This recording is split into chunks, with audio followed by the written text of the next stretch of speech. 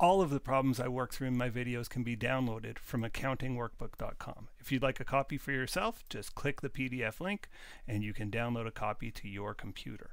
Also found on the website are links to all of my accounting videos, not just the ones here on YouTube that are publicly listed. They're also members only videos. About 40% of my videos are free and open, the other 60% are for members. If you click one of the members links, it'll take you to a page that looks like this, says members only content. If you'd like access to that content, just hit the join button. Okay, let's jump into the problem. Let's examine problem 12.1a, a make or buy decision, one of the most important decisions we'll make in chapter 12. Imagine you're a restaurant and you're debating do you order your cheesecake from the local cheesecake shop or do you make it yourself and enjoy those juicy margins for yourself? It's a dilemma that companies face. All kinds of places, all kinds of businesses have to decide do they bring something in from the outside or do they just make it themselves, fabricate it or, or bake it in the case of a, a cheesecake in house. That's the dilemma to outsource or not to outsource. And here's a nice example of such a decision. We're going to use relevant costs, remembering that to be relevant, a cost cannot be sunk and it has to be different across the options. So let's jump into it. Carol's Cupcakes sells cupcakes and other desserts through its retail store. The company has always made all of its ingredients from scratch, but has recently been approached by a supplier that specializes in icing.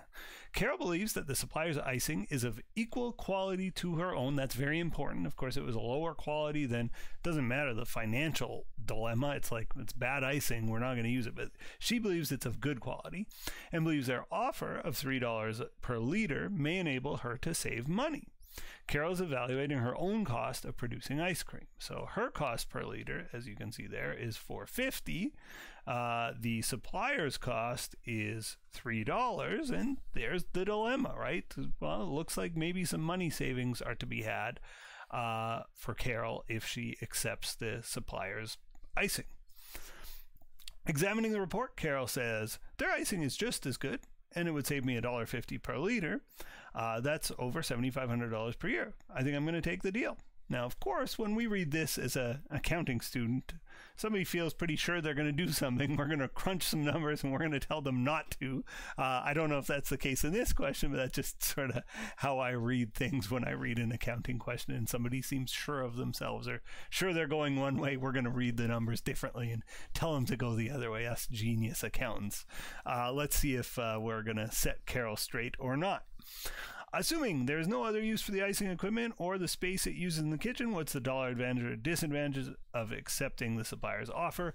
This is a relevant cost dilemma. Again, if a cost is sunk or it's not different between the alternatives, we won't consider that. We're only going to consider the costs that are not sunk and different between the alternatives. So let's get to it. I like to lay this out as a make versus buy. I like to sort of put buy stuff on the right and make stuff on the left. And the buy stuff is the easiest. It's just the price. It's going to cost us $3 per liter. There's no additional maybe shipping cost or something like that. There's nothing like that considered here. So it's just the purchase price. And of course, the purchase price, if I make, is zero. I'm not purchasing it from an outside supplier. If I buy, is $3. They are differential. It is not sunk. I haven't bought it yet, so of course it's not a sunk cost. This absolutely is relevant to our decision. Now, the costs of making also, many of them are relevant, and direct material is almost always relevant because I haven't made the icing yet. I mean, I'm making icing now, but uh, you know, for the cupcake I make in two months, I haven't made that icing yet. Uh, so that one dollar is a relevant cost.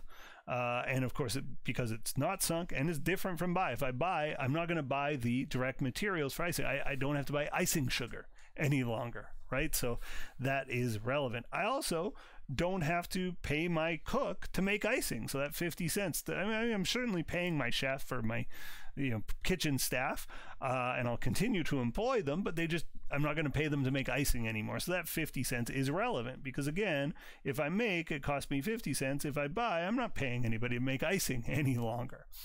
Um, variable overhead also tends to be relevant again, how many units worth of icing am I making? Well, none. So the machinery, you know, the electricity that goes into making that icing, it uh, doesn't cost me anything anymore. It had previously cost me 25 cents.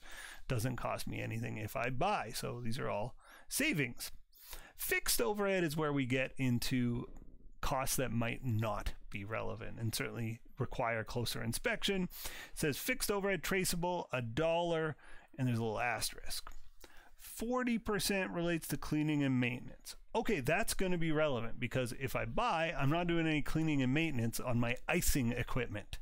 If I make, I got to do cleaning and maintenance on my icing equipment. So that 40 cents, 40% of a dollar, that 0.40 is relevant. Oh, I don't know if that's clear enough, but anyway, that 40 cents, my goodness, maybe I got to change my pen. It's too thick.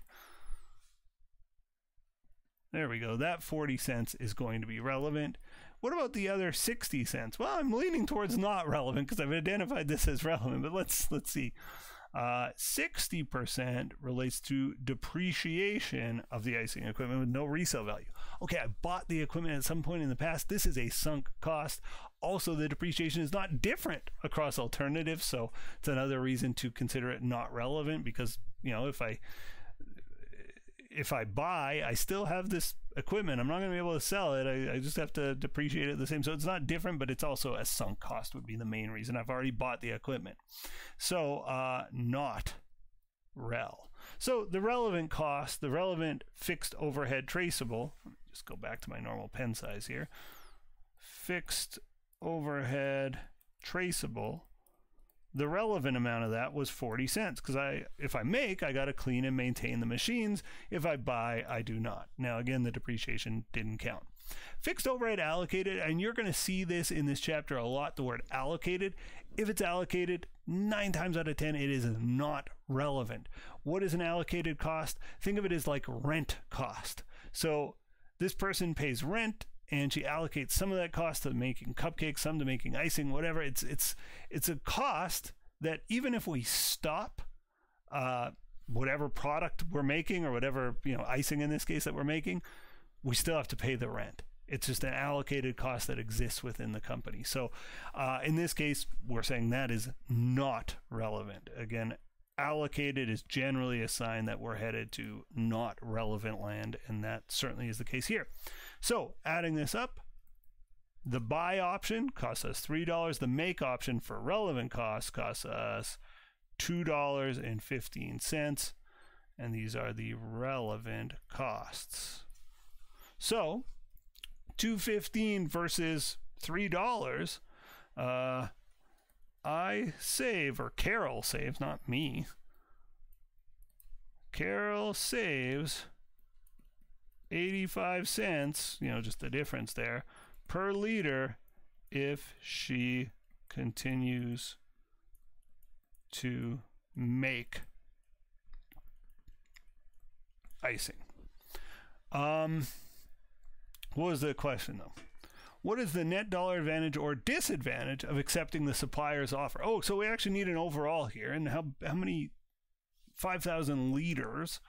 So 85 cents per liter. Oops.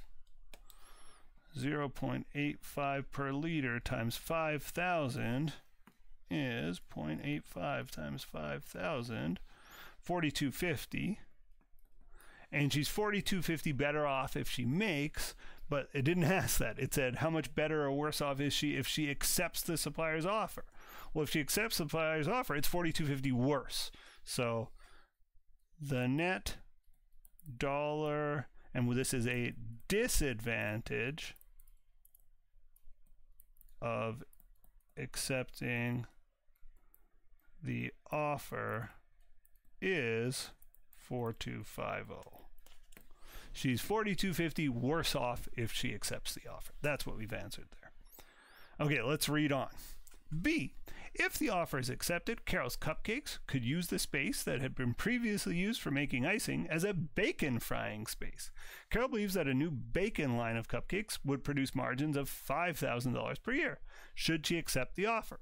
Okay, well, we just said uh, accepting is 4250 worse than making.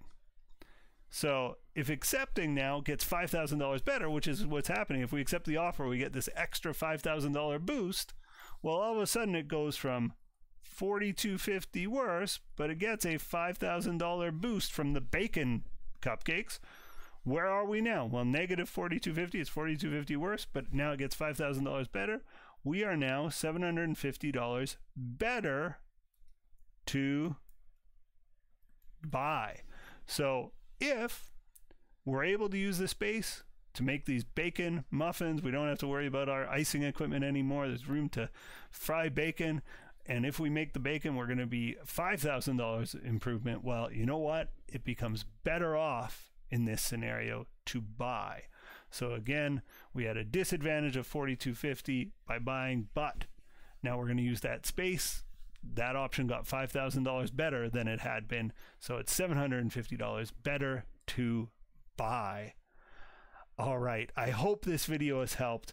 And for goodness sakes, if it has helped you, please, I'm begging you, please help me. Please consider, whoop, over there, uh, there.